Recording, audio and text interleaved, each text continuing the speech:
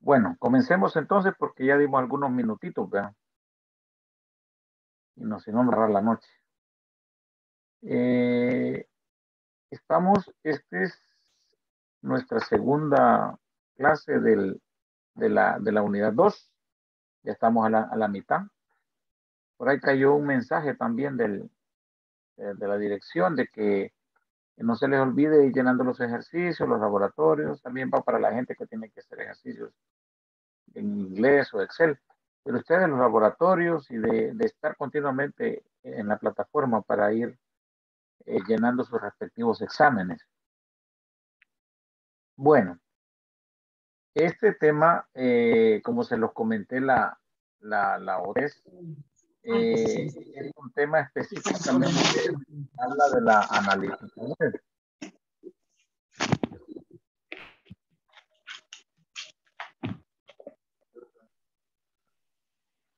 La analítica web eh, como tal está explicada, está bastante bien desarrollada en la plataforma que tiene, que tiene la institución, pero yo, yo voy a abordar un poco más, quisiera que...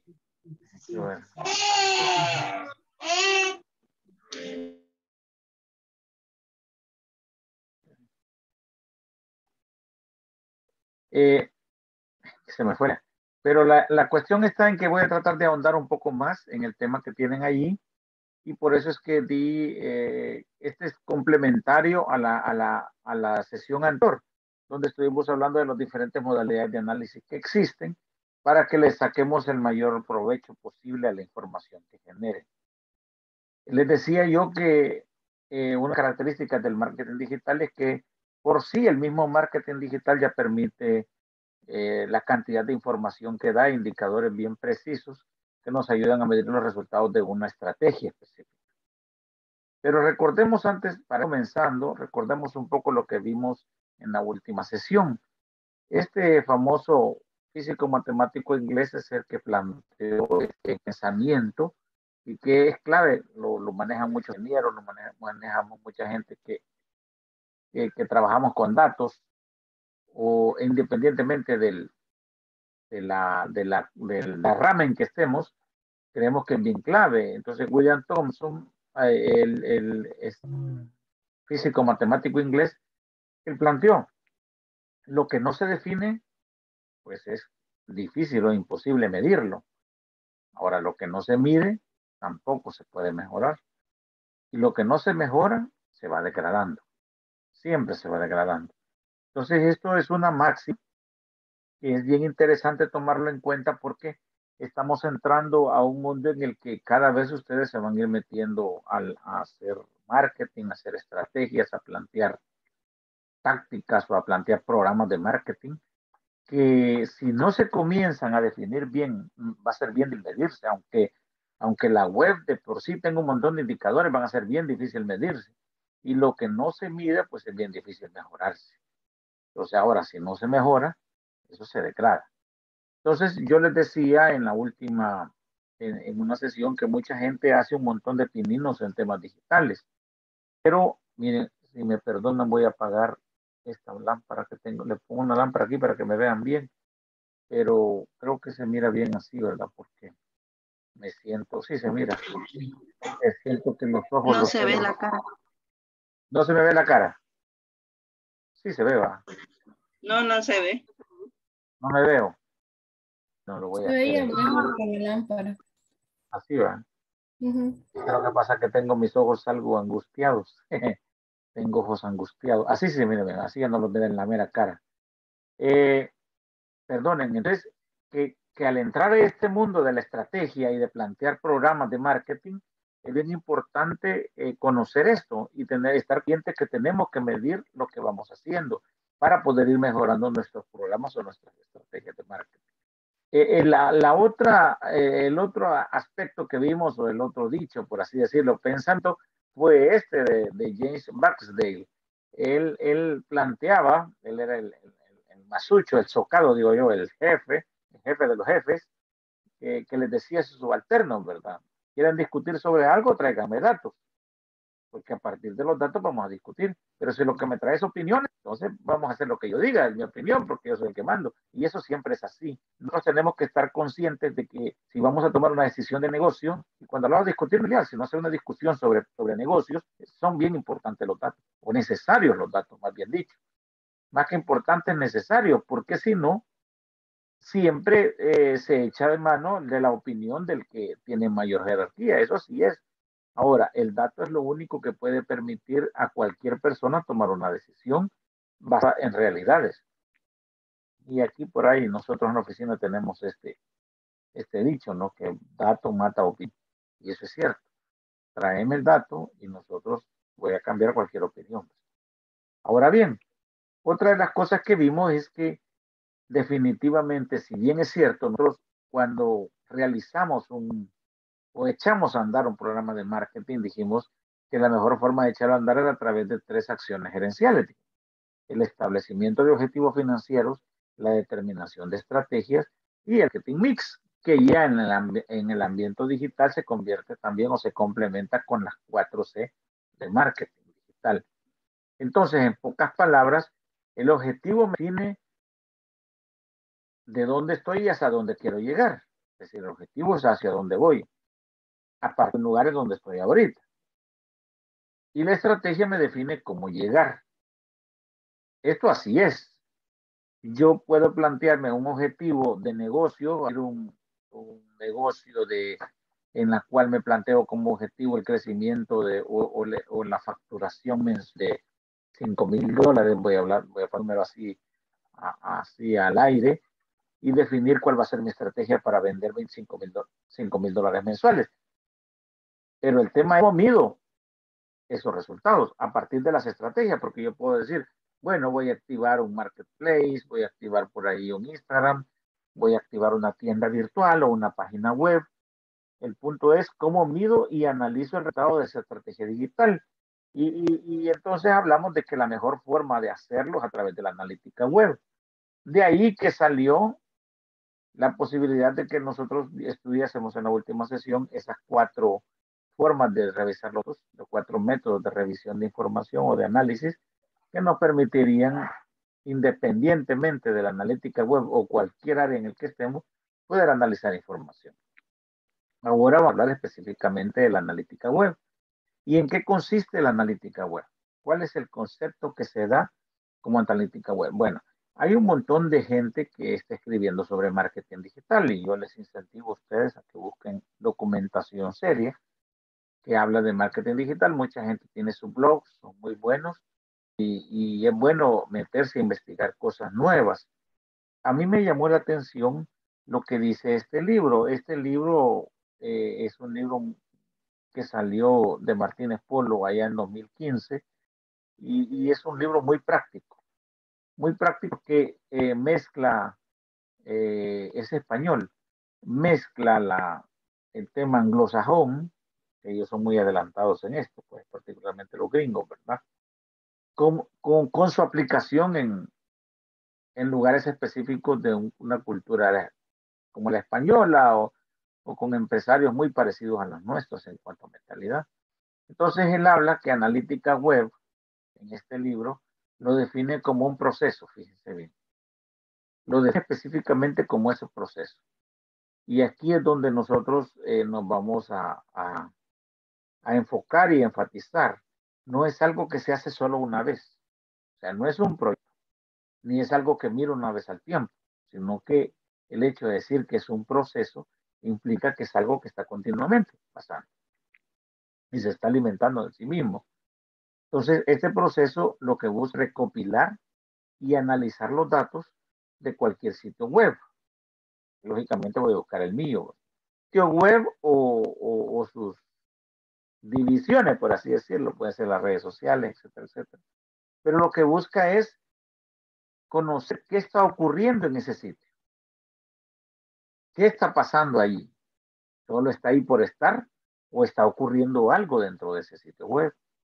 Entonces, la idea es agarrar y recopilar todo datos, toda esa información para transformarlo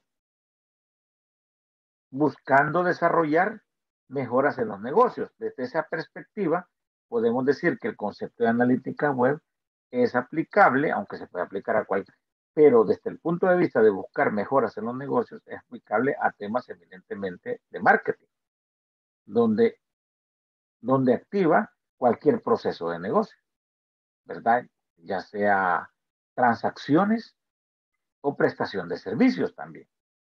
Desde el punto de vista de que estoy desarrollando una prestación de servicio con objetivo de negocio, yo puedo estar agarrando toda esa cantidad de información que estoy recibiendo a través de ese sitio y busco eh, determinar qué está pasando allí para poder agarrar ese, ese conocimiento, esa cantidad de información y transformarlo en diferentes mejoras. Y lo más importante, que yo le agregaría el concepto, sin tratar de ser abusivo con, con don Martínez Polo, es que buscaría eh, confrontar mi estrategia para determinar las mejoras necesarias a la misma o las correcciones necesarias a la misma o la misma mejora, porque siempre hay oportunidades de mejora. Entonces, este es un concepto bastante integrador que nos hace ver a, lo siguiente que queremos, queremos ver. a nivel de proceso, como es un proceso, este proceso de analítica web tiene tres elementos sobre, sobre esa misma base. El primer elemento es lo que se le deben llamar el proceso formal en sí. Explico. Eso, así se le deben llamar. Proceso, ya lo vamos a ver uno por uno. El segundo es lo que se le deben llamar proceso evolutivo. ¿Verdad? Es decir, cómo eh, este proceso se va transformando y evolucionando. Y el último son las métricas, los indicadores, otros les llaman KPI, otros les llaman este, eh, eh, métricas, indicadores o KPI, etcétera, etcétera, como les quieran mostrar. Pero estos son los tres elementos de que mantiene la analítica web como proceso. Esto implica que si me meto a hacer analítica web y si tomamos como base el pensamiento de, este físico matemático que hablamos al inicio, primero tenemos que tener bien definida mi estrategia y planteada. Y segundo, tener bien claro el proceso sobre el que me voy a meter para pretender mejorar. Y tercero, estar pensando que es algo continuo, no es algo esporádico que lo hago una sola vez. Entonces, estos tres elementos los vamos a ir viendo por uno a partir de ahora. Comencemos hablando del proceso llamado proceso formal de analítica web. El proceso formal, a su vez, es el que permite definir cómo es que yo voy a sacarle provecho de la mejor forma a la información que obtengo. Pero desde un punto de vista inmediato. Yo tengo una cantidad de información que está fluyendo continuamente a día 24 horas del día, 365 días del año, porque una de las características que tiene todo el marketing digital y todo eso es que no se detiene, ¿verdad? O sea, independientemente de eso, su página web, su red social, ahí está activa. ¿verdad? Tarde o temprano se puede, eh, alguien entra. Entonces, el, el, proceso formal define de qué forma yo voy a sacar provecho a esta información. En una forma inmediata. ¿Cuál va a ser la manera en que de forma inmediata yo puedo ir sacándole provecho a esa cantidad de información que se va generando en el día a día? Y con la cantidad, con el proceso necesario que tiene que pasar. Entonces, desde el punto de vista del proceso eh, formal, existen varias etapas. Y véanlo como una, eh, es decir, este proceso tiene a su vez una serie de etapas, ¿no? Y véanlo como una este, de construcción de un proyecto. La primera etapa es la definición inicial. Cuando yo hablo de la definición inicial, estoy hablando de preguntarme, ¿qué quiero medir en realidad? Segundo, ¿para qué me van a servir los datos? Y tercero, ¿quiénes los van a usar? Fíjense que esto es súper importante que si uno desde un inicio no lo toma en cuenta, a la hora de que los, la situación está caminando, aparecen una serie de interrogantes y en muchas empresas, no sé si les ha pasado a ustedes, ocurre eso. La mayoría de veces cuando van a haber cambios de sistema, sobre todo si son informáticos o cambios de procesos, si son empresas manufactureras, la gente que usa las cosas que no se involucra. O la gente que, va, que le va a servir la información es la que menos le preguntan. Entonces, cuando las cosas se ven unas grandes astralidades, pero no se echan a andar, ya, eh, no, se le pregunta quién lo va a usar, cuando se echan a andar lo que ocurre es que muchas de esas cosas se dejan de utilizar. Hace dos años escuché un, claro, tiene que ver esto con, con el Estado, en cierta institución del gobierno eh, escuché una crítica. Siempre que salen cambios de gobierno hay un montón de críticas con el anterior, eso siempre es así. O sea que para los hipotes no se asusten de todas las cosas que han ahorita, porque, por cierto, se han tardado, porque van por el tercer, cuarto año todavía criticando. Pero hay otros que comenzaron, yo recuerdo aquel que decía los 20 años de arena y después los 20 años de no sé quién, y siempre, siempre, siempre, eso es igual. Pues uno de esos cambios de gobierno que hubo, contaron que en una institución del Estado grande, eh, me reservo el nombre, y eso está grabado en alguna entrevista que salió, habían comprado uno de los sistemas transaccionales más caros en el mundo. Eh, para, para su información, los sistemas pueden ser, cuando, cuando los sistemas son integrados y permiten realizar transacciones, se les llaman sistemas transaccionales, mejor conocidos como ERP, si se les llama, porque son las iniciales de Enterprise Resourcing Planning, algo así.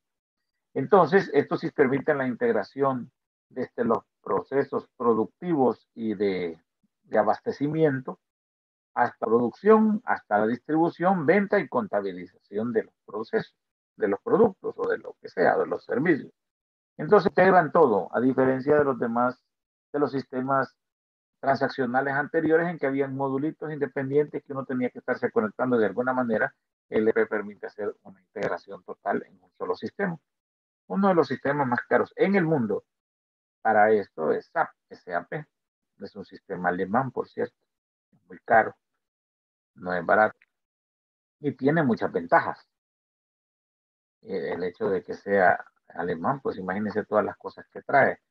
Eh, una integración impresionante, por lo menos en la compañía donde trabajé antes, que es una manufacturera, se podía integrar desde el abastecimiento de materias primas, etcétera, etcétera, la planificación comercial hacia adelante, la producción, los, la, eh, cuentas por cobrar, cuentas por pagar, contabilidad, todo, todo integrado a nivel global, pues casi que, o si no, por lo menos el América completa estaba integrada en un solo sistema. Pero ese no es el chambre. El chambre que le quiero decir es que, es que se había comprado este sistema para una institución local y habían pasado dos años sin usarlo. Entonces la persona que había llegado a dirigir la institución decía, yo no puedo entender cómo es que compraron un sistema tan caro y nadie lo usa. Durante dos años ahí estaba el sistema. No sé si será esto o no será cierto, pero independientemente de eso, algo de verdad tendrá. Y les digo por qué. Porque en muchos lugares lo que se hace es que se pensando que los sistemas van a solucionar los problemas, no se integran las personas que los van a usar. Entonces, cuando las cosas quedan instaladas y el que los va a usar no, no sabe cómo usarlo, pues el sistema ahí no más queda. Entonces, esta parte de la definición inicial es súper crucial. Si ustedes se van a meter al tema de analítica web, primero hay que plantearse eso. ¿Qué quiero medir? ¿Para qué me va a servir esa información? voy a cambiar estrategia, voy a tomar reacciones, voy a hacer una estrategia de precio, voy a mirar la competencia, qué es lo que sea. ¿Cuáles datos van a estar disponibles? ¿Para quiénes? Sobre todo los tomadores de decisiones.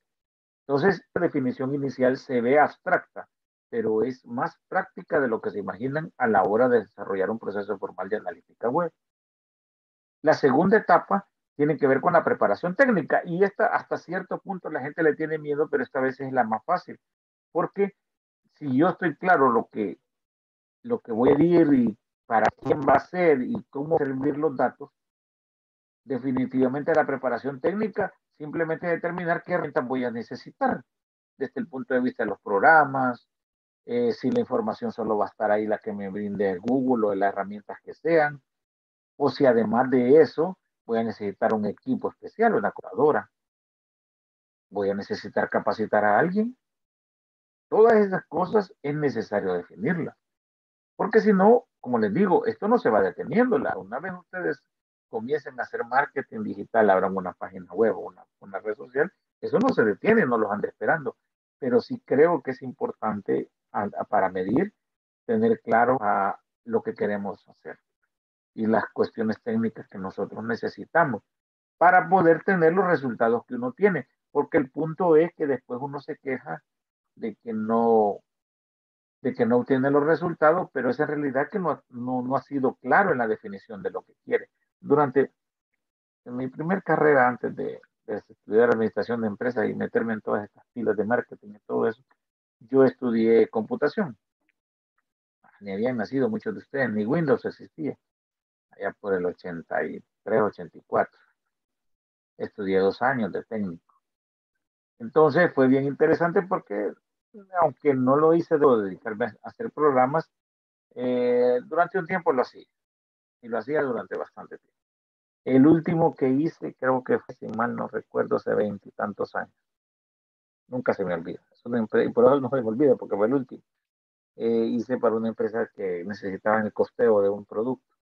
Eh, tenían un sistema de formación de tinturadoras, hacer tintes, no tintes de pelo, sino que pinturas, y necesitaban un, un, un sistema de costeo. Entonces me metí, ya, quería unas chirilicas adicionales y después arrepentido porque sentía, porque como uno se aleja de eso, no sabe ni cuánto se cobra ni nada de eso, y yo con mi trabajo, pues esto cuestiones adicionales, y esto implica, igual que esto, pues ahorita puede estar echado viendo Netflix, eh, Switch, la ley de los audaces, ¿va? que es mi serie que la tengo pendiente, entonces, o Ozark, estaba derechadote, pero le gusta a uno esto, entonces igual me dejaba trabajando y todo lo demás.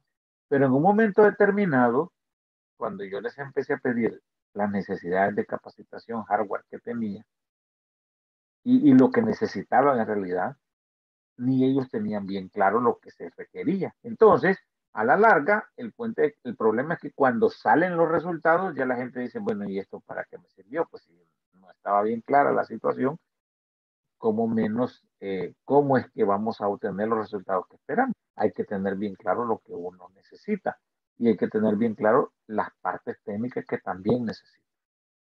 La tercera etapa es la creación de lo que se deben llamar dashboard o cuadros de mando. Es decir, en pocas palabras, cómo voy a presentar esa información. Y este es un tema bien indicado sobre todo para los computólogos. Los que fuimos, hemos sido, los que ahorita no sé si hay que ingeniero. Y es que una cosa es ver la formación o verla desde un punto de vista técnico y otra desde el punto de vista de decisiones comerciales. A mí, gracias a Dios, la vida me fue llevando así como Steve Jobs por diferentes etapas que me fue marcando el paso en diferentes momentos y eso me ha ayudado un poco. De repente, allá por el 97, sí, 98, sí, con el 97 caía a trabajar ya en partes comerciales, como asistente de un gerente de ventas. Entonces yo como traía la parte de sistemas y ya traía la cuestión de administración, lo complicado es cómo mostrar en una forma sencilla lo que los comerciales quieren ver, de una forma práctica, sin necesidad de hacerles el montón de chivatadas que tal vez los de sistemas que pretenden hacer, ¿verdad? con el respeto a los de sistemas. Entonces, eso se acorta con los famosos dashboard o cuadros de que es un dashboard o un cuadro de mando. Bueno, es bien sencillo, es un cuadro de control que me permite medir, que me permite ver los indicadores en una forma rápida, sin mayor conocimiento, es decir, sin mayor conocimiento técnico, pero puedo ver el estatus de un negocio. ¿Saben la mejor forma de ver qué es un dashboard? El tablero de un carro.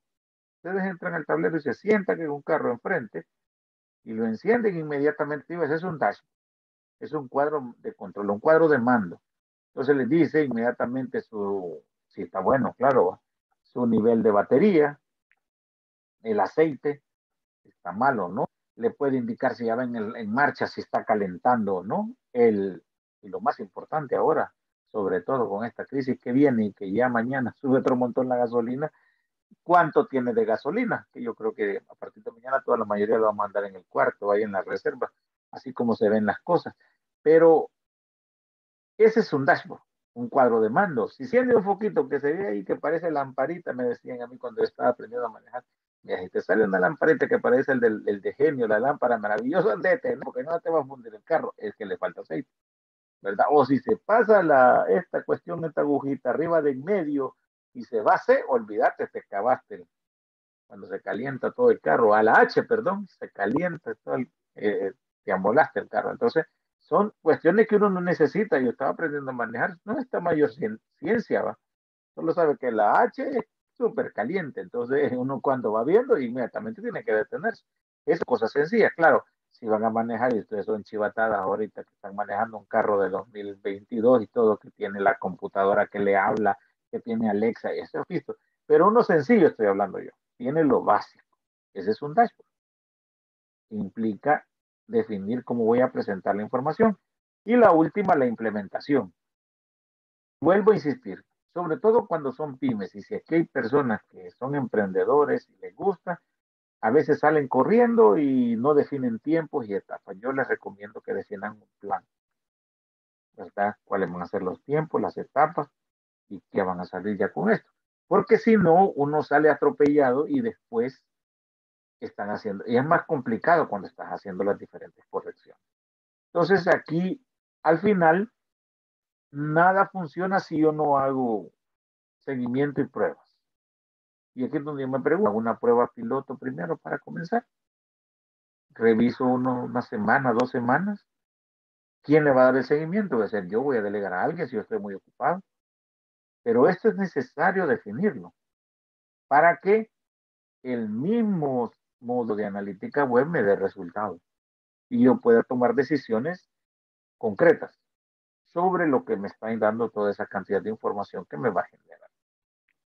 Por aquí les he dado un ejemplo de dashboard. Este es un ejemplo de dashboard que tiene tendencias, por ahí tiene este, algunas métricas específicas de medición. Estos son ejemplos. Eh, porcentajes, etcétera, etcétera, lo que yo quiero alcanzar. Este es un ejemplo de dashboard muy sencillo que en, una, en un pantallazo me está indicando el estatus de un negocio. Y en este caso el estatus de mi estrategia. Puede ser, claro, voy a saber qué medir en cada chivola, por así decirlo, o en cada gráfica. Voy a estar consciente si sé lo que voy a medir. Por eso lo importante es definirlo bien. ¿Verdad? Preguntas acerca de la primera etapa, lo que se debe llamar el proceso formal. ¿Todo bien? Ok.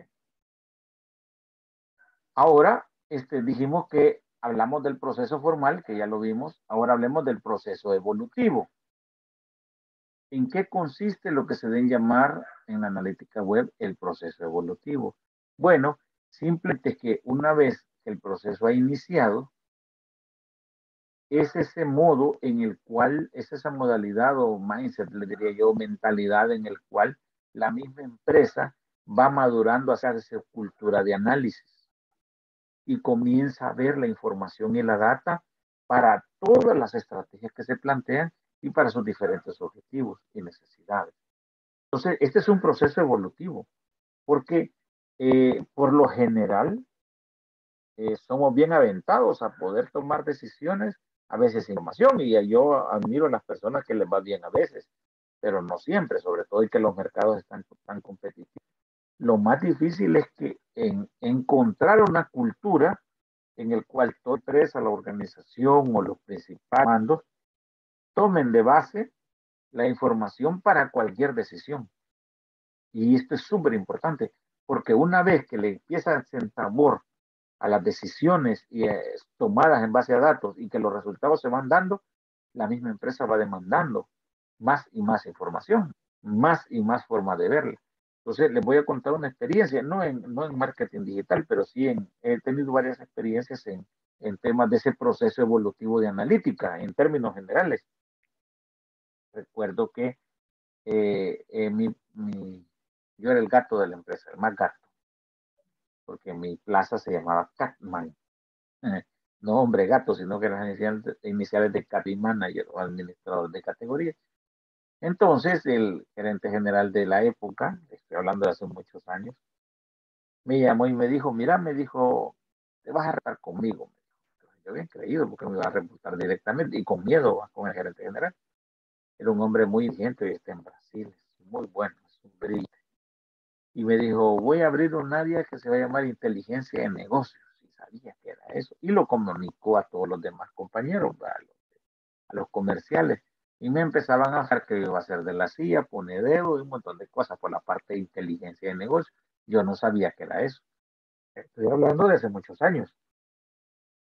Entonces me dijo, necesito que comencemos a ver la información de una forma diferente. Vas a comenzar a crearme un dashboard. Híjole, yo, ¿qué, eso, ¿qué es eso? O un cuadro de mando integral, me dijo. Entonces, aquel que les cuento comenzó a investigar y a buscar, ¿verdad? Y cómo se necesitaba y comenzamos a Excelito. ¿verdad? Entonces, este, lo primero es que teníamos una cantidad de información exagerada, una data que cada mes nos entregaban casi en Excel, más de 300 mil a 500 mil líneas en Excel.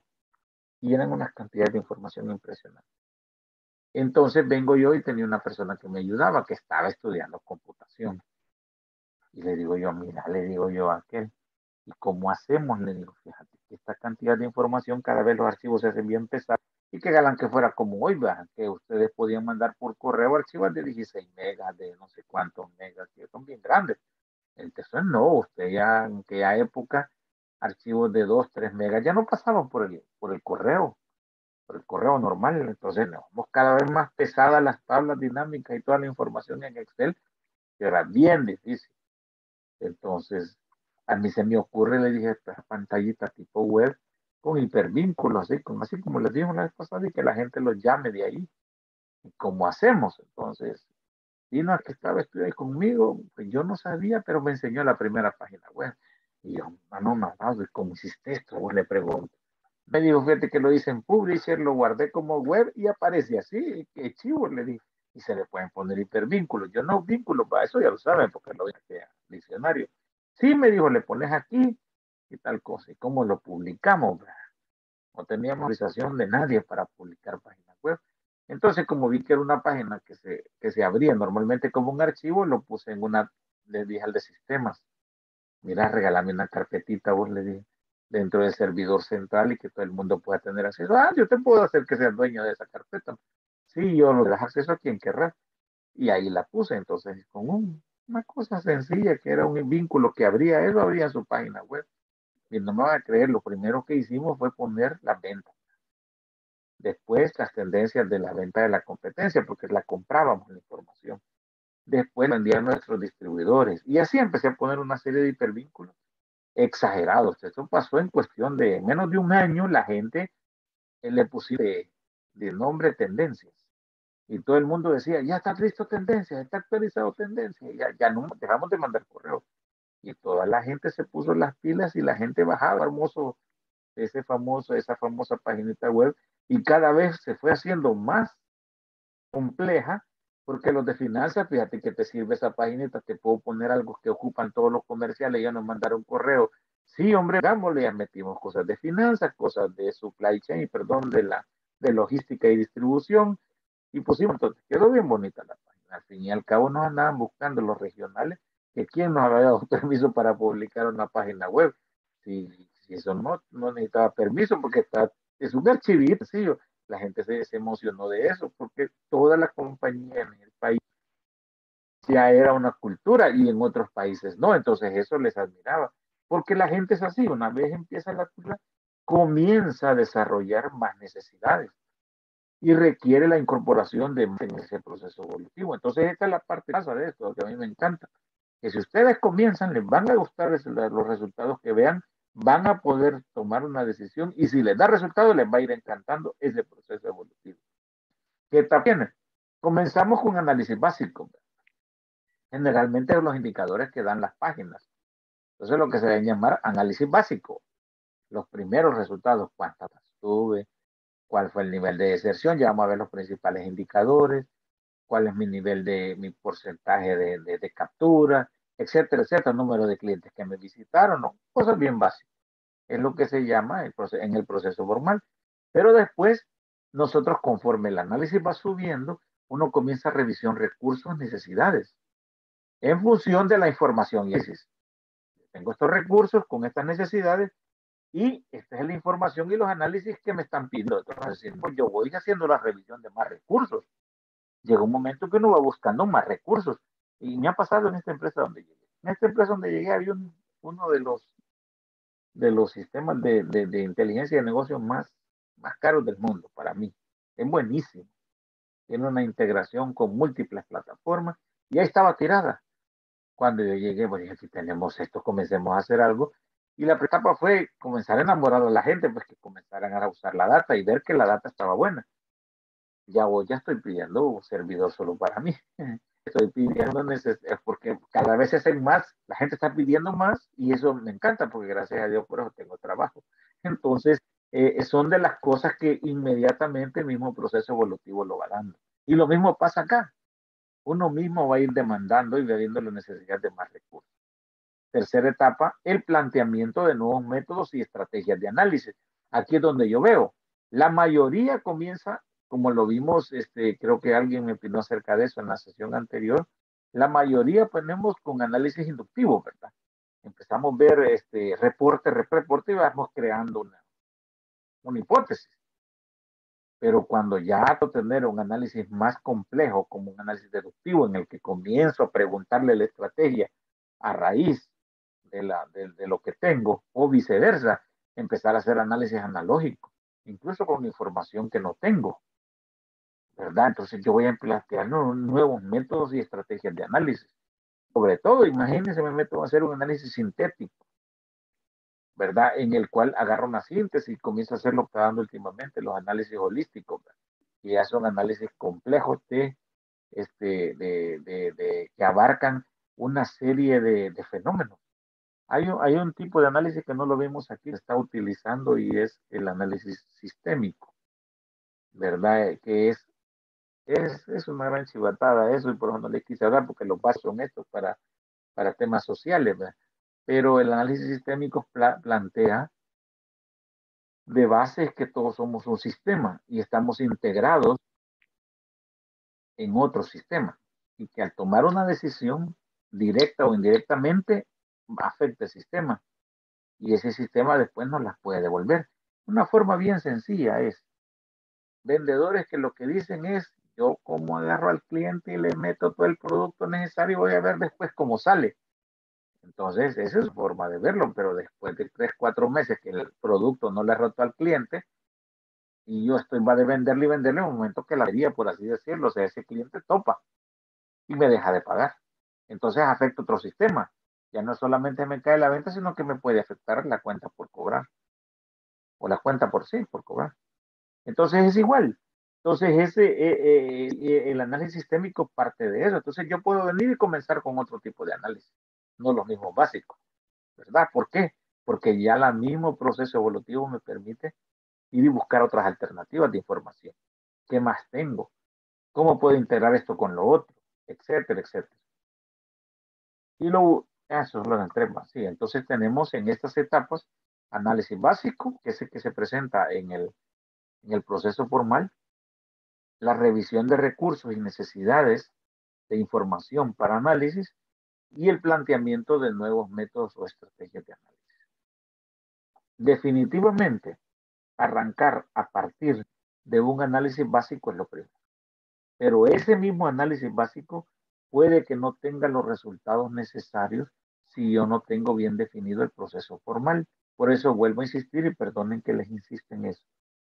Es necesario arrancar a partir de un análisis o de un proceso formal hace varios años, eh, yo estuve dando clases durante mucho tiempo en la universidad y nos, pedían, nos pedían la opinión acerca de qué tipo de qué tipo de tesis o el tema de temas de tesis, eh, algunas ideas de temas de tesis. Entonces yo tenía una inquietud. Eso fue hace unos ocho años o nueve más o menos. Una inquietud que yo tenía en aquella época, como los documentos de tesis o los trabajos de graduación, más bien dicho, tienen, están enmarcados dentro de, una, este, dentro de un periodo específico. Entonces, mi, mi planteamiento estarán dando resultados desde el punto de vista de ventas, las, eh, las acciones de marketing digital o las acciones de redes sociales, todavía ni se mencionaba tanto marketing digital. Entonces, las acciones de redes sociales estarán teniendo un impacto verdadero en la venta de las empresas que lo realizan. Era un planteamiento que yo tenía. Entonces, este, puse ese tema, ¿verdad? Como tesis, como doctor de graduación. Y en la UCA está eso, si lo quieren ir a buscar. Entonces, el impacto de las redes sociales, creo que se llama el tema. Un día lo voy a buscar por la copia aquí, para demostrárselos. El impacto de las redes sociales en las ventas de las empresas, de las pequeñas o medianas empresas en El Salvador, algo así.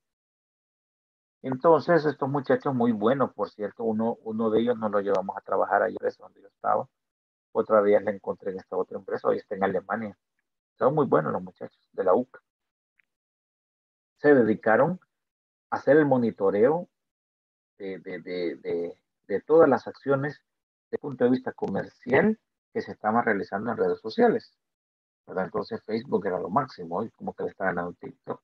Pero y Marketplace no estaba muy desarrollado, hablando de puro Facebook y puro Twitter en su momento, pero comenzaba a levantarse, estoy hablando de eso en nuestro país. O sea, no estoy de, una, de un documento de trabajo de graduación en otro país, aquí en nuestro país. Los resultados no fueron que esperábamos, desde el punto de vista de que en realidad estuvieran generando ventas. ¿verdad? A mí me encantaría que este tema se retomara hoy, después de una pandemia. Y yo les aseguro que los resultados fueran bien diferentes a lo que fue en ese momento. Creo que el documento de tesis era de allá por el 2006, si mal no recuerdo, 2011 o 2, lo mucho 2015, a lo sumo, ¿no? porque antes. Entonces, imagínense todo el tiempo que ha pasado y lo que se ha evolucionado. Pero todo esto mismo lleva a la necesidad de plantear. El tiempo continuamente va cambiando. Si yo no defino bien mi, eh, eh, mi analítica web como proceso y con la posibilidad de evolucionar, yo simplemente puedo estar estancado con la misma data de hace 10 años. Por eso es que les digo que es importante la revisión continua y el planteamiento y la definición clara de lo que yo quiero lograr. Ahora bien, Dijimos que la analítica web como proceso tiene su, su base tres elementos.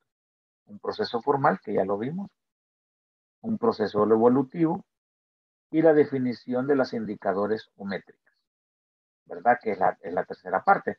Muchos nos vamos directamente a las métricas. Yo solo qué es lo que quiero medir, cómo voy a medir.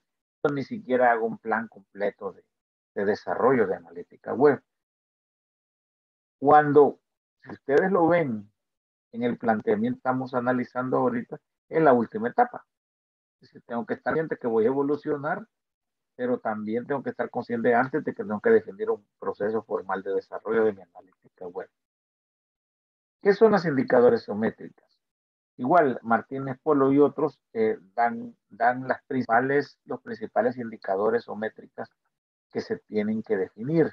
Definitivamente, métrica como concepto se dice que es una valoración cuantitativa que le va a describir un evento o la tendencia de un sitio web, desde el punto de vista que estamos viendo. O sea, métrica o indicador es esa valoración cuantitativa. Y esto quiero que lo tengan. Tiene que ser un número. Cuando dice valoración cuantitativa, es que tiene que tener un número. ¿Verdad? Por lo tanto, al tener un número, ese número describe todos esos eventos o tendencias de cualquier sitio web.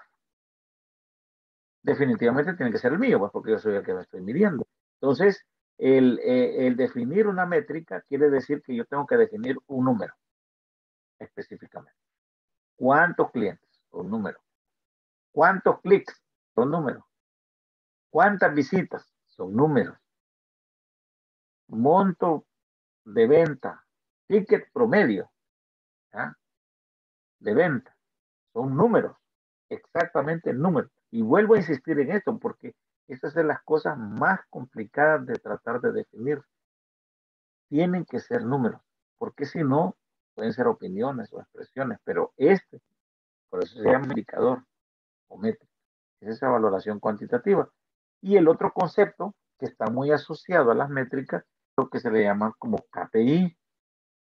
KPI son las iniciales de Key Performance Indicator, you know, o indicadores claves de desempeño. Que yo puedo tener un montón de, indicadores, métricas, Pero hay unos que son claves en mi desempeño. Que si uno o dos de esos claves se me vienen abajo o estoy teniendo problemas, definitivamente tengo que reaccionar ya. Entonces, yo defino mis métricas, pero también tengo que definir mis KPI. ¿Por qué? Porque los KPI específicamente son aquellos indicadores o métricas que son claves, pero que están definidos bien alineados a los resultados que yo he puesto con respecto al objetivo que voy a lograr. Por lo tanto, son claves, porque son parte de mis objetivos. Lógicamente, la venta ahí está, pues, ¿verdad? Porque un objetivo es de venta, definitivamente. Entonces, no todos los indicadores o métricas son KPIs, pero sí todos los KPIs son indicadores. La diferencia es que el KPI está asociado a mi objetivo. Por lo tanto, se le llama indicador clave. Porque si uno de esos indicadores llamados claves así, estoy teniendo un problema ya en mi objetivo. Entonces, eh, el, el, de hecho, muchos teólogos ya, eh, teólogos, muchos estudiosos de todas estas pilas dicen que usted puede llegar a tener, no sé, 10, 15, lo que quiera, indicadores, pero KPI no deberían de ser de 5. A lo sumo nos dicen que 7. Y, y, hay unos que pueden medir simplemente una tendencia, pero hay otros que ya me van a medir que me está afectando mi negocio ese sí ya se convierte y está asociado a mi objetivo y por ende a mi estrategia, entonces ese sí yo tengo que ponerle ojo porque voy a tener problemas. Entonces, ejemplos, yo puedo tener indicadores tales como ventas generadas, ticket promedio, número de visitas, eh, eh, ¿cómo se llama? Cantidad de clics que le dan a mi página, tasa media de, de, navegación en mi página. Puede ser eso o más. Pero ¿cuáles suelen ser los indicadores claves o los KPI? Bueno, la venta es uno. Otro puede ser eh, la razón de KPI sobre venta. O sea, que, que de, perdón, de, de clic sobre venta. Que tantos clics eso generaron venta. Y sobre todo si me están cobrando por clic. Ya vamos a hablar acerca de eso en esta clase cuando veamos el, el, el SOM. Eh, o otro podría ser, eh, un indicador puede ser el ticket promedio y el otro puede ser la rentabilidad ganada sobre el ticket promedio. Entonces, estoy hablando de cosas que yo me estoy inventando. Aquí no crean que. Es más, uno puede ponerse a fumar un montón de indicadores. Toda vez ese indicador me esté, valga la redundancia y perdón, indicando algo que me puede ayudar a mejorar, a, a medir bien y a mejorar lo que estoy haciendo, se va. ¿Preguntas acerca de indicador y KPI? ¿No? Ok. Aquí en analítica web vamos a ver unos, unos cuantos indicadores que, que, que, son los principales, ¿no? No son los únicos, pero sí son los principales. Ustedes van a decidir de acuerdo a su estrategia cuáles de indicadores o métricas se convierten en KPI y cuáles no, ¿verdad? Estos son una, una generalidad y mucho más. El, eh, también el, que se, como se desarrolla en la, en, en la, plataforma es muy bueno porque les da una, una conceptualización más generalizada. Aquí estoy siendo bien específico buscando la manera de que le va esto en, en una estrategia que quieran plantearse o en un negocio. No sé cuántos emprendedores aquí que ya quieren comenzar a, a realizar un proyecto de marketing digital. Es decir, aquí, como les digo, se les está dando una, si estos María son de, de, marketing digital, ¿verdad? De dos años estudiando todo esto. Aquí estamos viendo solamente una cita para, para ver cómo nos entusiasmamos y le continuamos, porque una cosa sí seguro, que se va a detener esto, no se va a detener. Va a ir mejorando cada vez. Así que entre más luego entremos, va a ser mejor. La primera indicador es visitantes. Bueno, visitas es el número de veces que un usuario visita la página web. ¿Cuántas visitas? Es el número de veces que el mismo usuario visita la página web para consultar alguna información. Visitante es el número único de usuarios, es decir, mientras que el visitante es la cantidad de usuarios que llegan a la página web. Por un tiempo X yo decido que se va a considerar visitante aquel que por lo menos estuvo voy a poner unos 3, 5 minutos en mi página, ya lo considero visitante. ¿Cuántas personas, visitantes individuales, únicos, entraron? Ese es un indicador. Y visitas es el número de veces que ese visitante estuvo realizando a la página. Porque eso indica interés, pues. Si le gusta una página, regresa. Si usted no le vuelve a gustar, no vuelve. Entonces es, es, es bien importante esos dos indicadores. Otro indicador es el tiempo dentro de la página. Tiempo medio paso visitante, visitante en la página web. Y esto es bien interesante porque está muy relacionado con otro que vamos a ver más adelante, el nivel de, de deserción. Pues. Que, que, que, tan, que tan interesado está. Entonces, si yo tengo como mi estrategia de marketing digital, tengo como, como objetivo financiero el crecimiento en ventas, y una de las estrategias es reforzar mis páginas web, dándole innovación a mi página web, lógicamente este es un buen indicador que me va a medir si en realidad está dando resultado, porque cuando hay innovación, cuando hay cosas nuevas, cuando la gente le gusta, está interesada, entonces pasa más tiempo uno en la página. Hay páginas que no te gustan, rapidito, listo. O hay una inversión en tecnología y decir, voy a buscar que mi página web, mi fanpage, lo que sea, sea una página sencilla, fácil de comprender, rápida de cargar. También, una cuestión que uno está en la barba para que cargue, entonces nadie le gusta. O que tenga fotos viejas, fotos de mala resolución, este, cuestiones que ya no existen, etcétera, etcétera. La gente abandona esas páginas. Entonces, ese es bien importante medirlo. Si va a amarrar a mi estrategia. Si no, siempre es bueno tenerlo. ¿Cuánto es el tiempo? ¿Saben cuándo es bueno medirlo? Cuando uno hace cambios a veces en las páginas para mejorarla. Yo quiero cambiar el diseño de página y quiero ver qué tanto ahora la gente se queda. Entonces es una forma de medirlo. Otro es la tasa de rebote. Todos estos indicadores están en los principales browsers, you know, los principales este, buscadores. Google tiene indicadores, analítica Google, este, Edge también tiene sus indicadores, pero estos son los más generalizados independientemente del buscador. Eh, Mozilla Firefox también lo tiene. La tasa de rebote trata de medir el comportamiento de los visitantes dentro de la página. ¿En qué consiste el rebote? Bueno, es esa acción que hace del visitante que se sale de la página en pocos segundos. En medio lo vio, lo cerró o se pasó a otro. Esa es la tasa de rebote. Entonces va a medir qué tanto, eh, de cuántos visitantes, cuántos están saliendo. Ni siquiera se quedan un ratito. Eso me ayuda a ver qué mejoras le puedo hacer a la página. O qué, qué atractivo puede tener para que se queden, pues.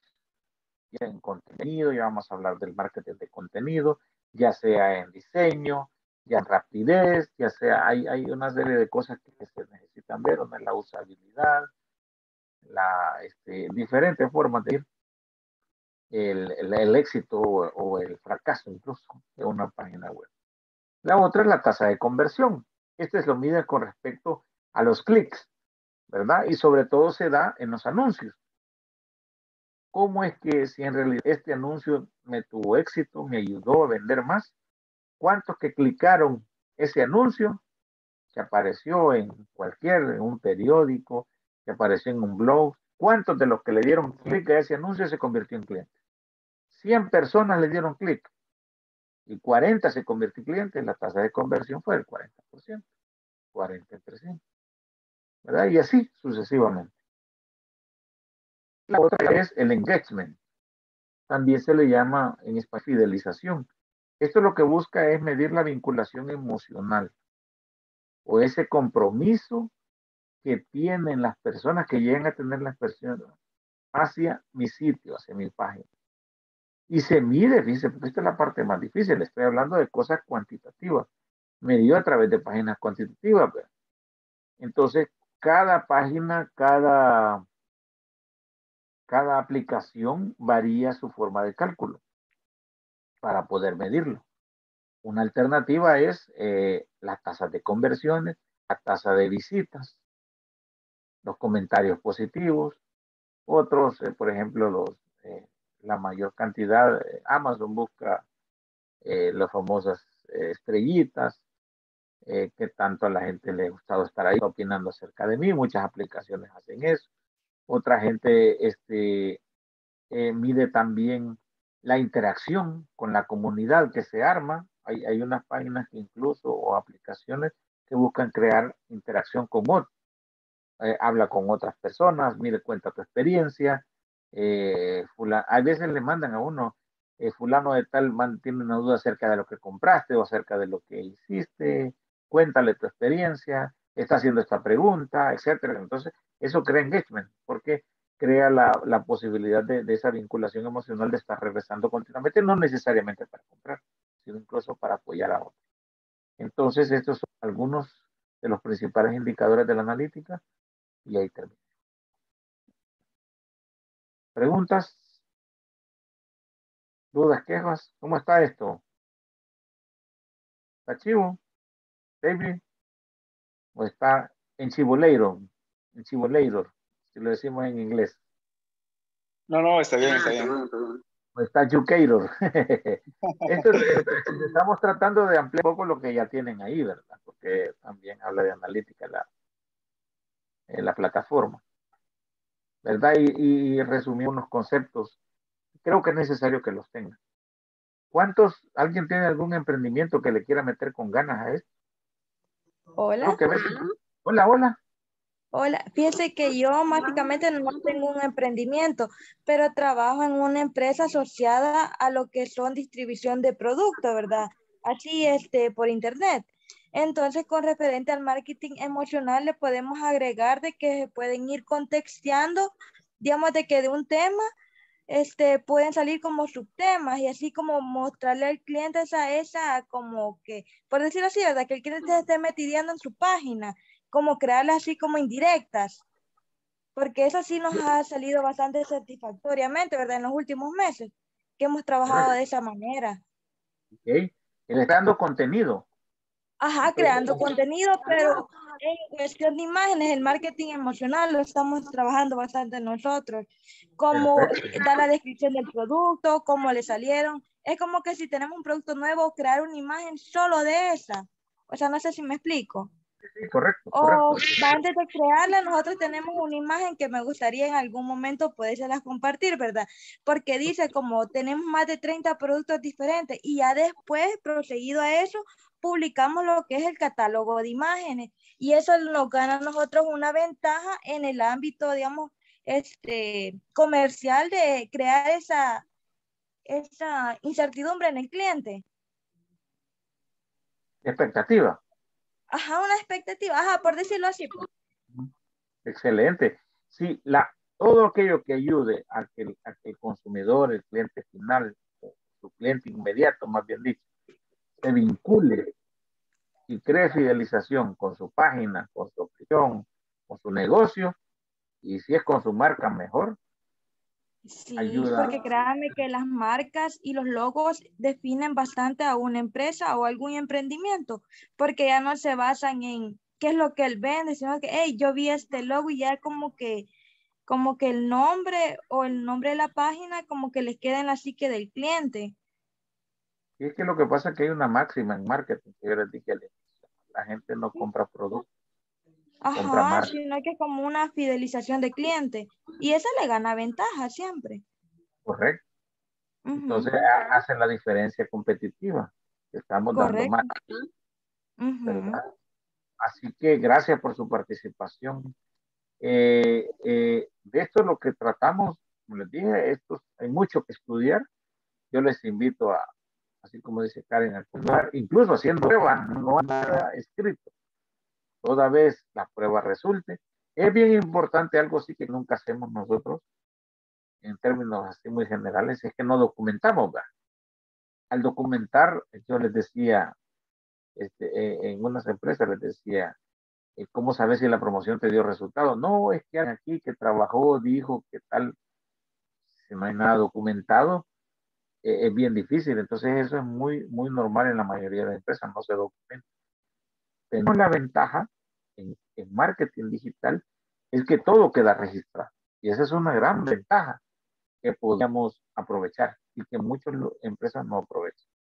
Así que este, mañana vamos a ver la estrategia de SEM y de SEO para más específicamente en eso, para que ya el, miércoles, ¿verdad? Arranquemos la tercera semana ya.